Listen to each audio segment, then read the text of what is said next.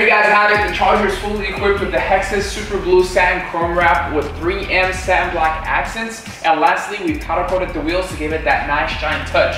If you guys know, a chrome wrap is one of the hardest things in the market to do so. It took us about two and a half weeks to almost three weeks after post-heating this project. Extremely well done project. The film laid extremely comfortably and overall a well outstanding finish. Make sure you give this video a thumbs up. If you guys have not subscribed to our YouTube channel, hit that sub button. We have so much content coming for you guys. What's next?